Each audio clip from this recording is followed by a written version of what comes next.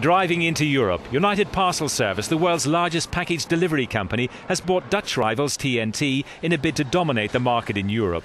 The deal is worth 5.2 billion euros and comes after UPS raised its initial offer. The Atlanta-based company will pay 9.5 euros a share. It's a great day because the combination of the two companies, the complementary portfolio that we will be able to sell to our respective client base will be enhanced and will really deliver the global leader that will be unequaled. UPS has been trying to break into the European market, which has been dominated by Germany's DHL and TNT. The combined strength of the merger will now challenge DHL's market share.